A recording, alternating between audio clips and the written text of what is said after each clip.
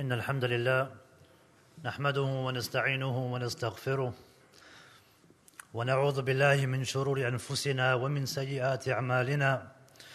من يهده الله فلا مضل له ومن يضلل فلا هادي له. وأشهد أن لا إله إلا الله وحده لا شريك له وأشهد أن محمدا عبده ورسوله. يا أيها الذين آمنوا اتقوا الله حق تقاته ولا تموتن إلا وأنتم مسلمون. يا أيها الناس اتقوا ربكم الذي خلقكم من نفس واحدة وخلق منها زوجها وبث منهما رجالا كثيرا ونساء. واتقوا الله الذي تساءلون به والأرحام. إن الله كان عليكم رقيبا. يا أيها الذين آمنوا اتقوا الله وقولوا قولا سديدا. يصلح لكم أعمالكم ويغفر لكم ذنوبكم. ومن يطع الله ورسوله فقد فاز فوزا عظيما. أما بعد فإن أصدق الحديث كتاب الله وخير الهدي هدي محمد صلى الله عليه وسلم وشر الأمور محدثاتها وكل محدثة بدعة وكل بدعة ضلالة وكل ضلالة في النار.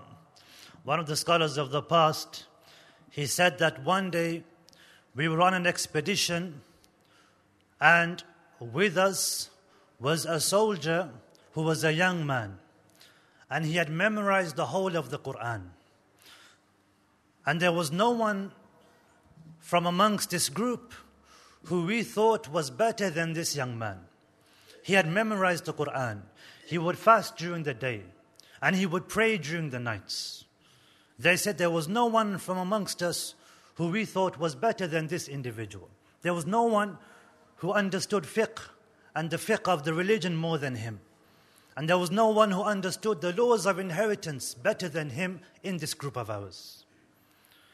They said that we were on this expedition and while we were on this expedition, we came across this fort. And this young man, who we loved so much, it was like as if he was our own son. This young man, he went close to the fort to relieve himself. And when he looked up, he saw a woman, a woman from the Romans, a Christian woman. And when he saw her, he was amazed by her. And so he started to talk to this woman. And he said to her, How can I get to you? I want to be with you. And she said, You won't be able to enter the fort and be with me unless you become a Christian. And some of the people who were in this expedition, they said, We had no idea this was taking place except after it was done and after he went into the fort. This man, he went into the fort by accepting Christianity. And he ended up with that woman. And the people who were in this expedition, this group, they said that when this happened, they were shocked. They couldn't believe what had happened. It was like as if they lost their own son. And they carried on on this expedition, but you know, they, they, their minds weren't all there. You know, they were shocked over this incident. They couldn't get over it. One of their own had just left Islam for a woman. On the way back from the expedition, they happened to pass by the same fort.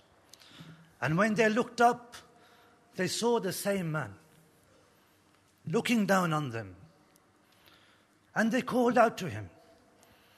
They said, Ya Fulan, oh so and so, what happened to your Islam? What happened to your Salah? What happened to your Quran? What happened to your fasts? What happened to your knowledge? What happened to you? And he looked down on them and he said, I have forgotten all of it. I don't remember any of it. None of my Quran, none of my knowledge. But I only remember one portion of the Quran, just one of one or two ayahs. And they said, What are those ayahs that you remember? And he said, رُبَمَا يَوَدُّ الَّذِينَ كَفَرُوا لَوْ كَانُوا مُسْلِمِينَ he said that the non Muslims, those who disbelieve, they wish that they were with the Muslims. They wish that they were part of the Muslim Ummah.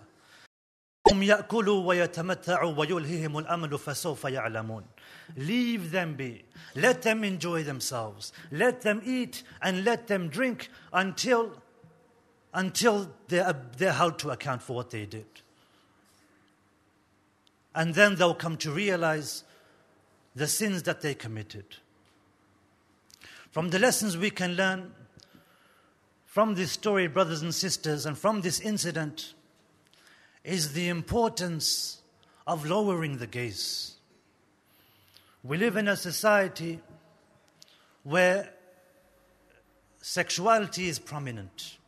Wherever we look, we're bombarded with billboards and magazines and websites where shamelessness is you know widespread it's not even shameless and it's not even something which is you know people feel ashamed about anymore it's something common it's something normal and we're surrounded by this the society that we live in should be an incentive for us to strive with regards to this aspect of our faith. Allah subhanahu wa ta'ala, He talks about the importance of lowering the gaze. And He says, Tell the believing men, tell the believing men to lower their gaze and to protect their private parts. And Allah subhanahu wa ta'ala says the same thing with regards to the believing women to lower their gaze. Lowering the gaze, brothers and sisters, is something which Allah subhanahu wa ta'ala has commanded in the Quran. For a person to refrain from looking at those people who aren't a mahram to him, at women who aren't related to him. And in this day and age, in this society that we live in, and especially in this season, in the summer months, it's something which we have to be careful of even more. A person needs to refrain from looking at things which will increase his desire. Allah subhanahu wa ta'ala himself has ordered this in the Quran. The Messenger of Allah والسلام, was once asked by a companion about the sudden gaze. When a person just looks at something suddenly, and then he averts his gaze straight away. The Messenger of Allah والسلام, was asked about this, and he commanded the companions and he commanded them to avert their gaze after they make the initial gaze. If a person looks at something which is haram to him, let him turn his gaze away straight away, and he won't be held to account for that first gaze, on the condition that he looks away straight away. We look at the dangers of, low, of not lowering the gaze and the benefits of lowering the gaze as Muslims, as believers. One of the benefits of lowering the gaze, brothers and sisters, is that you're obeying the orders of Allah subhanahu wa ta'ala. And the person who doesn't lower his gaze and who doesn't try his utmost to lower his gaze, he's disobeying Allah subhanahu wa ta'ala. He's disobeying the commandments of Allah Azza wa Jal. Allah subhanahu wa ta'ala, He says, Ya ayyuha alladhina amanu ati'u Allah wa ati'u Rasul. O you who believe, obey Allah and obey the Messenger. Sallallahu alayhi wa sallam. And when a person doesn't obey Allah Azza wa Jal and doesn't obey His Messenger alayhi salatu wa salam, then his deeds won't be of any value. Allah subhanahu wa ta'ala says, Obey Allah and obey His Messenger. وَلَا تُبْطِلُوا أَعْمَالَكُمْ And don't make your deeds worthless. When a person disobeys Allah subhanahu wa ta'ala, he runs the risk of making his deeds end up worthless, of no benefit to him whatsoever. Another harm of not lowering the gaze, brothers and sisters, is that it can lead one to adultery. It can lead one to having illegal relationships with people of the opposite gender. The Messenger of Allah والسلام, he would say that the eyes commit zina, the eyes commit adultery. How can the eyes commit adultery? Because of what the eyes look at. Because of what the eyes look at. The Messenger of Allah والسلام, he would talk about the eyesight. And he would say that the eyesight, sahm min sihami iblis. He would say it's a, an arrow from the poisonous arrows of iblis. And he said, Whoever refrains and stops himself from looking at something that isn't halal for him, then Allah subhanahu wa ta'ala will replace that with a sweetness in his heart that he'll have until the day of judgment. When a person obeys Allah subhanahu wa ta'ala, when a person lowers his gaze, Allah subhanahu wa ta'ala will put that halawatul iman in his heart, that sweetness of iman inside his heart. From the dangers of not lowering the gaze, brothers and sisters, is that he starts to belittle the sin that he's committing. And he thinks it's not a big deal. He thinks there's nothing wrong with this sin. One of the companions, he said that the believer, when he commits a sin, it's like a huge mountain about to crumble on top of him. That's how he sees the sin. Even if he commits a small sin. In his eyes, it's the biggest thing that he can do. It's a serious thing. And he said, the hypocrite or the sinner, when he commits a sin, it's like a, a fly in front of him that he just swats away. It's not a big deal, it's something minor. It's not having an effect on him or on his heart. They did this experiment where they boiled water. This experiment in which they boiled water and they took a frog. They took this frog and they put the frog in the boiling water. And the frog jumped out straight away because the water was hot. Then they put the frog in lukewarm water, water which wasn't boiling hot. And they slowly increased the temperature of the water until the water became boiling. And the frog never leapt out. The frog stayed in the water and the frog died. When a person sees something haram blatantly in front of his eyes, and it's something big, and it's a major sin, and it's a major haram, he averts his gaze and he stays away from it.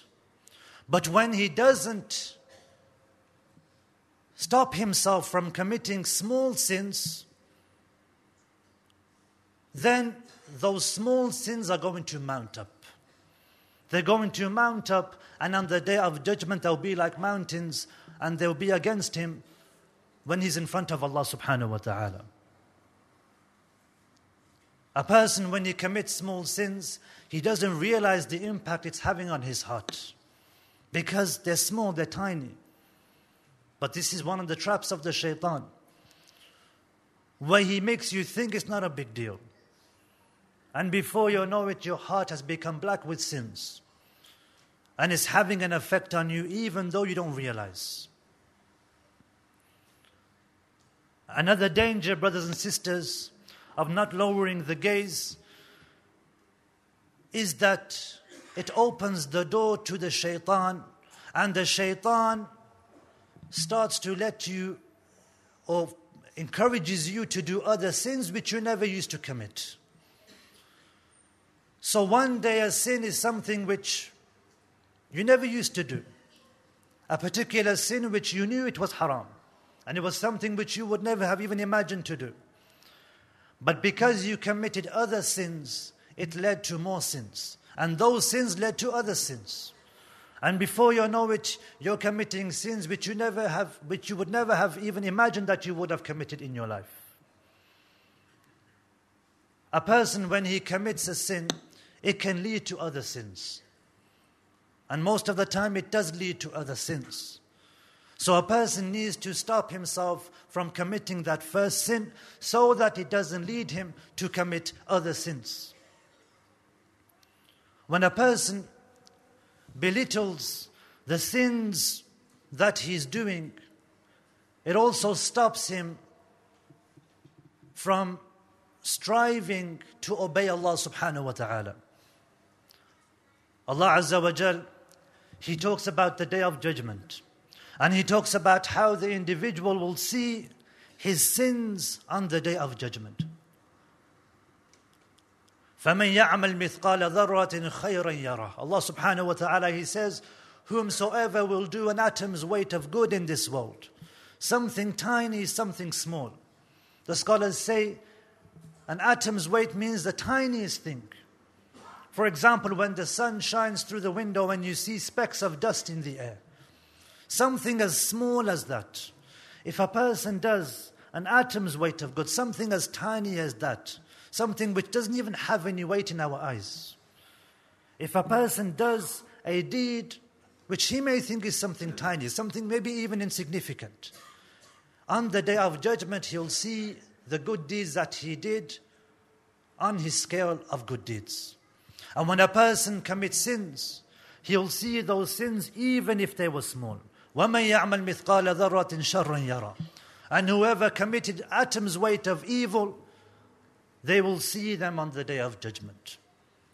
A person will see everything he did on the day of judgment. He'll be able to see all the things that he did, all the things that he said. So a person needs to refrain. A person needs to be careful when it comes to committing sins, even if he thinks that they're minor, even if he thinks that they're sins which aren't a big deal. Another problem when a person doesn't lower his gaze and looks at things which he shouldn't be looking at, looking at things which are haram for him to look at, is that it causes a strain on his marital relationship. It causes problems and conflicts between him and his spouse. The spouse sees his or her spouse looking at something which is haram. How do you think it makes that person feel? It makes that person feel worthless. It makes that person feel as if he or she isn't worth anything.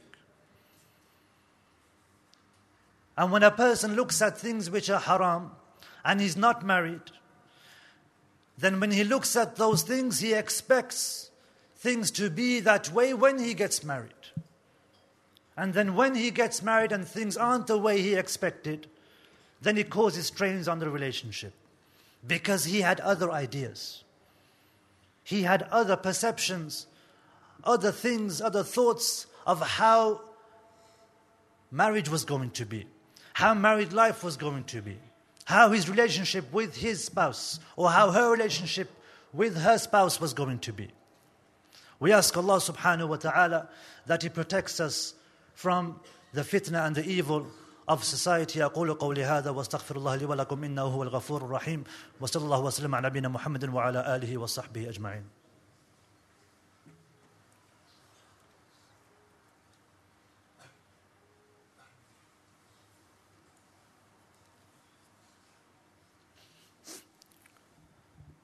بسم الله الرحمن الرحيم الحمد لله رب العالمين والصلاة والسلام على أشرف الأنبياء والمرسلين نبينا محمد وعلى آله وصحبه أجمعين We were talking about the importance of lowering the gaze and how Allah subhanahu wa ta'ala has ordered us in the Quran to lower our gaze. This is an order from Allah subhanahu wa ta'ala. And so because it's an order from Allah subhanahu wa ta'ala, anybody who looks at something, anybody who looks at something which isn't halal for him, then he is going to be committing a sin. And a person needs to do whatever is possible. He needs to do whatever he physically can do to try to avoid looking at those things which are haram for him. Whatever he can do to lower his gaze. And we talked about the harms that this can cause with regards to his Islam and with regards to his Iman. And it can lead to other types of sins. And I want to talk about ways in which a person can lower his gaze or ways in which it will make a person easier to lower his gaze. What steps can a person go to? What steps can a person take so that he can uh, lower his gaze in an easier way? It'll be easy for him in the society that we live in. It's difficult for a person to always lower his gaze. It's difficult not to look at things which are haram for him. So, what things can a person do so that it's made easier for him to do this thing which Allah subhanahu wa ta'ala has asked of him and ordered him to do? The first thing that a person can do, brothers and sisters, is to realize and know in his heart that Allah subhanahu wa ta'ala is watching wherever and whatever you're doing. Wherever you may be, whatever you're doing, Allah subhanahu wa ta'ala is a witness. And He sees everything that you're doing. No matter where you are, and no matter who is with you, even if you're on your own, in a house where there's nobody else except you. And you're on your laptop or you're on your mobile phones. And nobody else is there. Nobody else can see you. You should know in the bottom of your heart that whatever you do is never going to escape Allah subhanahu wa ta'ala. Because Allah subhanahu wa ta'ala can see everything. And if a person has this in his heart, and he's aware and he's conscious of Allah subhanahu wa ta'ala and he knows that Allah subhanahu wa ta'ala is watching him wherever he is, whatever he's doing, in whatever state he may be in, then this will help him to lower his gaze and not look at things which are haram for him. Another thing that a person can do to help him lower his gaze, brothers and sisters, is to ask Allah subhanahu wa ta'ala, to make dua to Allah subhanahu wa ta'ala that He helps you lower your gaze. Allah subhanahu wa ta'ala says in the Quran, أجيب دعوة الداعي إذا دعان وإذا سألك عبادي عني When my slave asks you about me, فإني قريب Then verily I am close. I respond to the one who supplicates to me so long as he continues to make dua, so long as he makes dua to me and supplicates to me. So a person should supplicate to Allah Azza wa Jal. One of the greatest weapons of the believer is dua, is supplication. You can make supplication anytime, any place, anywhere, whatever state you may be in. If you feel like you're going to fall into haram, supplicate to Allah subhanahu wa ta'ala at that very moment. Ask Allah subhanahu wa ta'ala to protect you from evil, to protect you from harm. Make dua to Allah subhanahu wa ta'ala. Ad-du'a huwa al-ibadah. The Messenger of Allah alayhi salatu wasalam, he said that dua is worship. Supplication is worship. Because you're asking Allah subhanahu wa ta'ala as opposed to asking the creation of Allah azza wa jalla. Another way in which a person can help himself lower his gaze is by striving and making the effort and doing whatever a person can to lower his gaze and then being patient on that. It's not going to be easy. No one said it was going to be easy. But a person tries as much as he can. You know, he has this striving of the soul, this jihad on nafs. He tries as hard as he can. He struggles with his soul. He makes this effort for Allah subhanahu wa ta'ala. And if a person makes the effort for Allah Azza wa Jal, Allah subhanahu wa ta'ala will make that path easier for him. He just has to make the effort. You know, when a person does an exam, the one who's marking the exam doesn't look at how hard the person tried, how much effort the person made, how many nights he revised for. He looks at the overall result. He looks at the overall mark. If a person failed, he failed. Doesn't matter how, how hard he tried. But Allah subhanahu wa ta'ala, He looks at how hard we try. He looks at our effort. He looks at how hard we're going to try and how much effort we go to to please Him. Allah subhanahu wa ta'ala, He says, وَالَّذِينَ جَاهَدُوا فِينَا لَنَهْدِيَنَّهُمْ سُبُلَنَا He said, those who strive in our way, those who strive for me, I'm going to make their path easier for them. I will guide them to my path. I'll make it easier for them. All a person has to do is to make the effort. All he has to do is to try. The Messenger of Allah, والسلام, he said, Whoever looks to be chaste, whoever looks to not get involved in adultery or fornication or, the, or, or zina, the zina of the eyes or the zina of the private parts. Whoever refrains himself from this, then Allah subhanahu wa ta'ala will make him chaste. And whoever seeks to be independent with regards to his means and his rizq and his income, doesn't rely on other people, then Allah subhanahu wa ta'ala will make him independent of means. And whoever strives to be patient, then Allah subhanahu wa ta'ala will make him from the patient. A person just has to make that effort. He has to strive for these things. And when a person strives for these things, when he does whatever he's able to do, then Allah subhanahu wa ta'ala will make the path easier for him.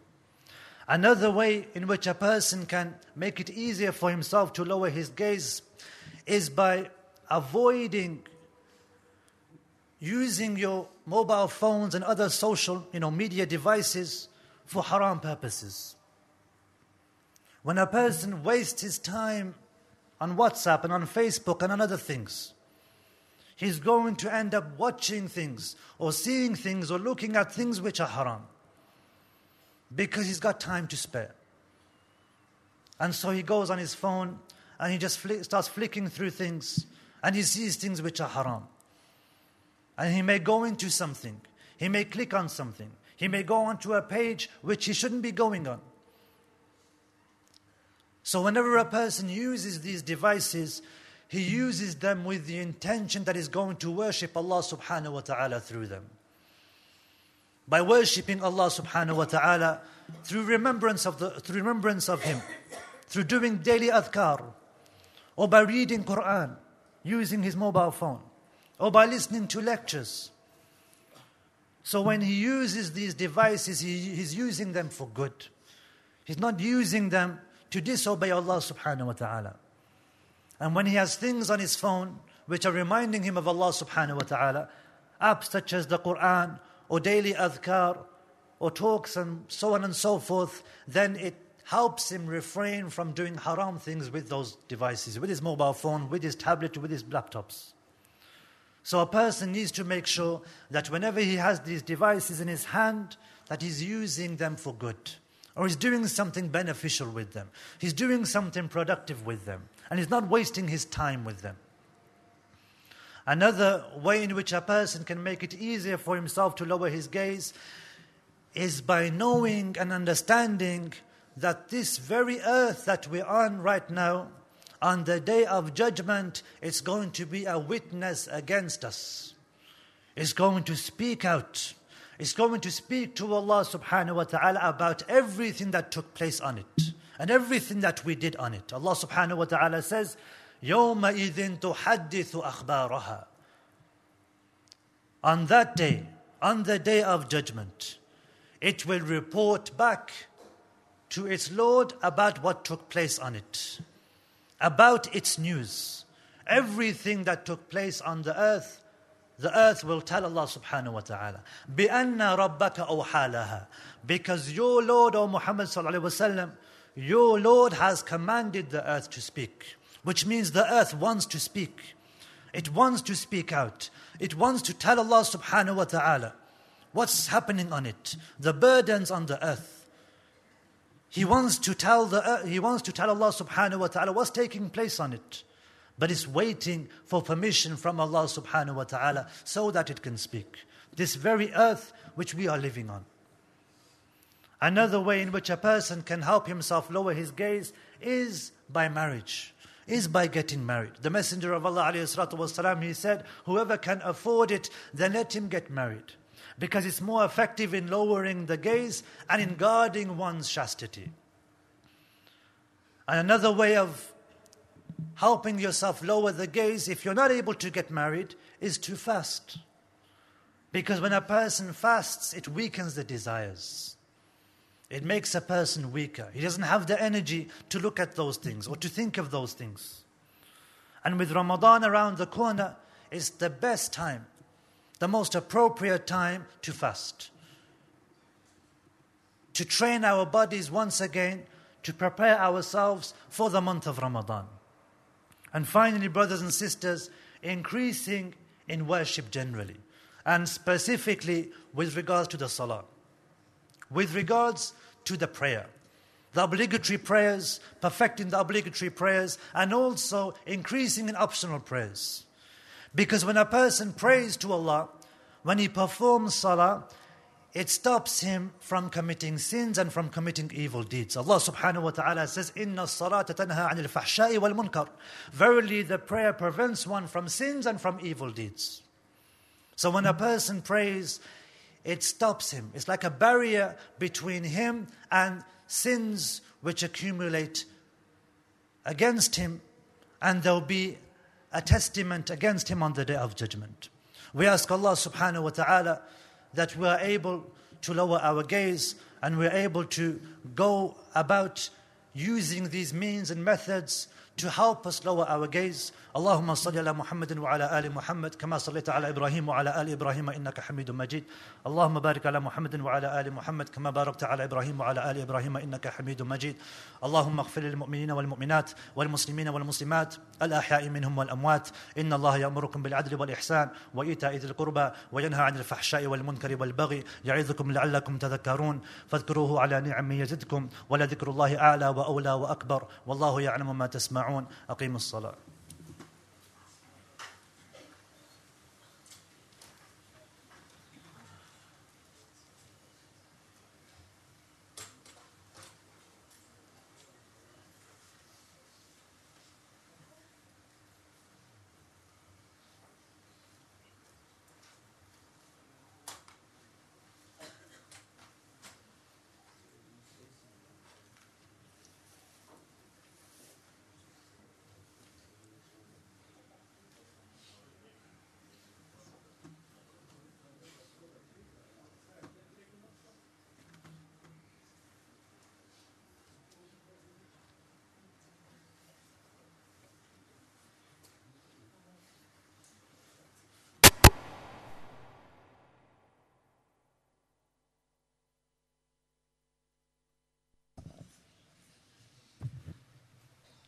الله أكبر الله أكبر. أشهد أن لا إله إلا الله. أشهد أن محمدا رسول الله. حي على الصلاة حي على الفلاح. قد قامت الصلاة قد قامت الصلاة. الله أكبر الله أكبر. لا إله إلا الله. So sufufakum, straighten your rows. Straightening the roses from the perfection of the prayer, so make sure your rows are straight.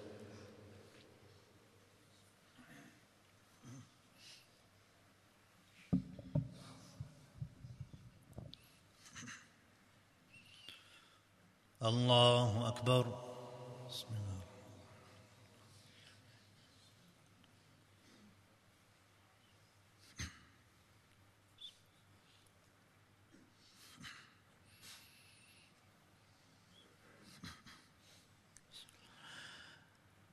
الحمد لله رب العالمين. الرحمن الرحيم. مالك يوم الدين. إياك نعبد وإياك نستعين. اهدنا الصراط المستقيم. صراط الذين أنعمت عليهم. غير المغضوب عليهم ولا الضالين.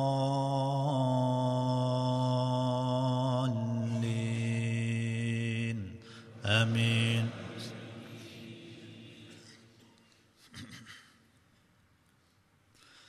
سبح اسم ربك الأعلى الذي خلق فسوى والذي قدر فهدى والذي أخرج المرعى فجعله غثاء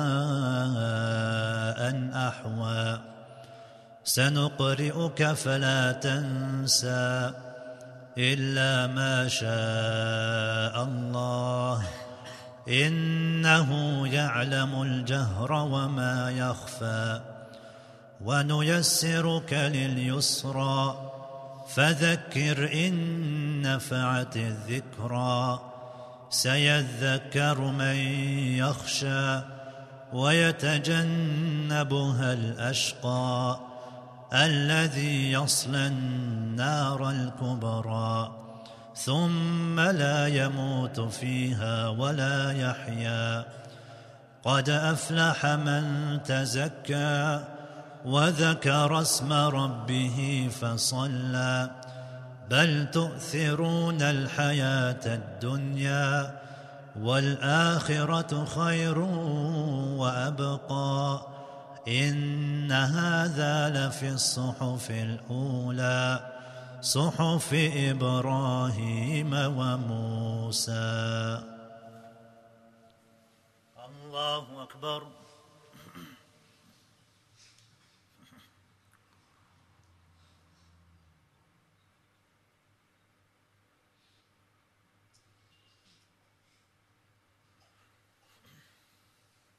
سمي الله لمن حمده.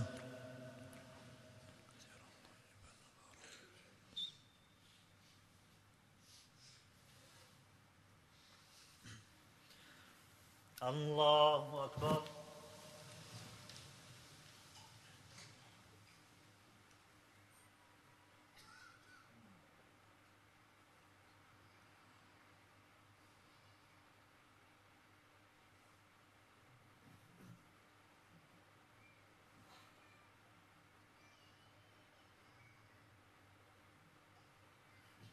الله أكبر.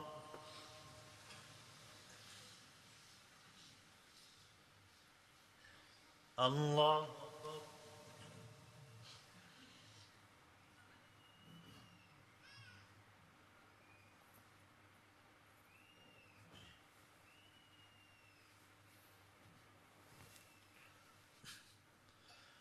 الله أكبر. الحمد لله رب العالمين. الرحمن الرحيم. مالك يوم الدين. إياك نعبد وإياك نستعين. اهدنا الصراط المستقيم. صراط الذين أنعمت عليهم. غير المغضوب عليهم ولا الضالين.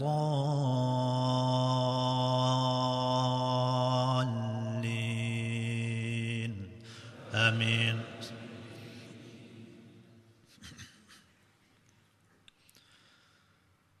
هل أتاك حديث الغاشية؟ وجوه يومئذ خاشعة.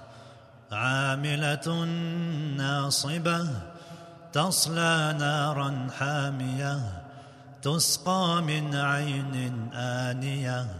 ليس لهم طعام إلا من ضريع لا يسمن ولا يغني من جوع. وجوه يومئذ ناعمة لسعيها راضية. في جنة عالية لا تسمع فيها لاغية فيها عين جارية فيها سرر مرفوعة وأكواب موضوعة ونمارق مصفوفة وزرابي مبثوثة أفلا ينظرون إلى الإبل كيف خلقت؟ وإلى السماء كيف رفعت وإلى الجبال كيف نصبت وإلى الأرض كيف سطحت. فذكر إنما أنت مذكر لست عليهم بمسيطر إلا من تولى وكفر. فيعذبه الله العذاب الأكبر. إن إلينا إيابهم. ثم إن علينا حسابهم. الله أكبر.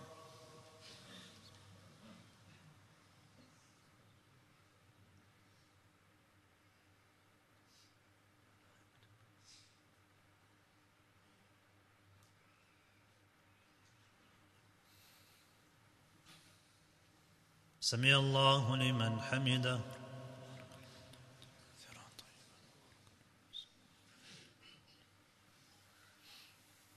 الله أكبر.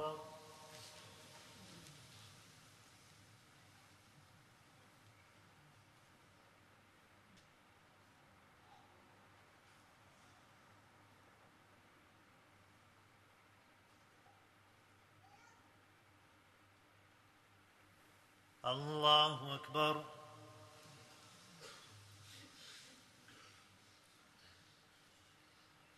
الله أكبر.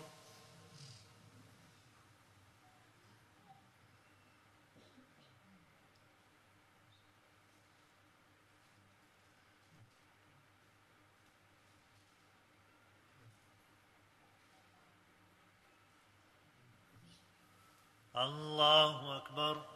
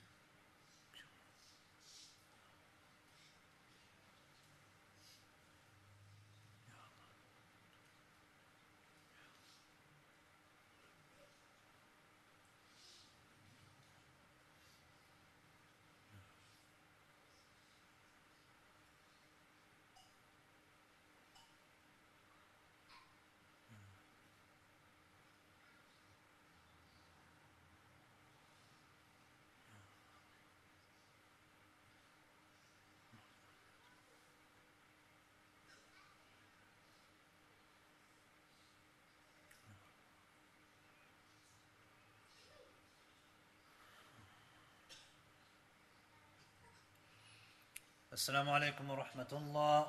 السلام عليكم ورحمة الله.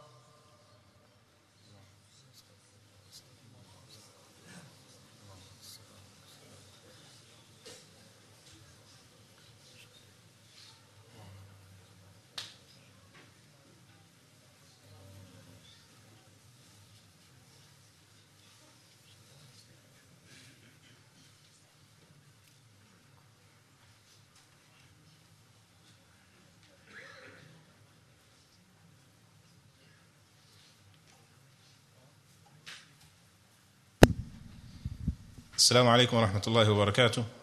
Just a few announcements. Task Force GLM has partnered, partnered with various bread factories in Idlib, Syria, with the aim to bake enough bread to provide up to 12 million Syrian refugees with bread free of charge, inshallah. We ask all our brothers and sisters to donate generously towards this noble project. Please remember, for every person that receives bread from the factory, you will inshallah be rewarded immensely. And as announced in previous weeks, every Friday after Jum'ah, we will be holding a snack stall outside both brothers and sisters' entrances. All proceeds will go towards the bread project. Please visit the stores on your way out and make a purchase. Sisters at Green Lane Masjid, in association with Task Force GLM and Human Appeal, are holding a Sisters Charity Dinner raising money to feed the Syrian people on Saturday, 6th of June from 4 p.m. to 8 p.m. There will be performances, stalls, auctions, and a three course meal, and much more. Tickets are £15 and the stall outside, or alternatively from the reception during office hours. Sisters are also taking donations of brand new or once worn wedding clothes for the event. Tonight's Urdu lecture will take place after Salatul Maghrib, inshallah. Also, Saturday, the Saturday lecture after Maghrib is entitled The Battle of the Trench and will be delivered by Abu Abdullah Yunus, inshallah. Our food bank service urgently requires food donations. We are currently running low on cooking oil, milk, rice, drinks, and ladies and men toiletries. Please leave your donations during office hours at the masjid reception through door C. If you are struggling to find work, need help with completing your CV, or need interview skills, we are now offering a service for you. GLMCC Job Club is running every Monday with morning sessions for sisters and afternoon sessions for brothers. For more information, please come to the reception through door C, inshallah. The volunteers at Green Lane Masjid are the backbone of this masjid. Volunteers run everything that we deliver here in the masjid, including our new services. We are now recruiting for more volunteers to help us expand even further for the benefit of the entire community. If you would like to join the team, then please come to the reception uh, through door C. Green Lane Masjid will be holding a Tarbiyah camp here in the Masjid from Saturday the 30th to Sunday the 31st of May, inshallah. This will be an opportunity for you to benefit from excellent instructor, instructors, interesting workshops, as well as fun filled recreational activities. The camp is for brothers only and is free of charge. Registration is required and can be done through our website or in the reception, inshallah. Young Ummah, the GLM Youth Service, is always looking for ways to improve the standard of our youth development.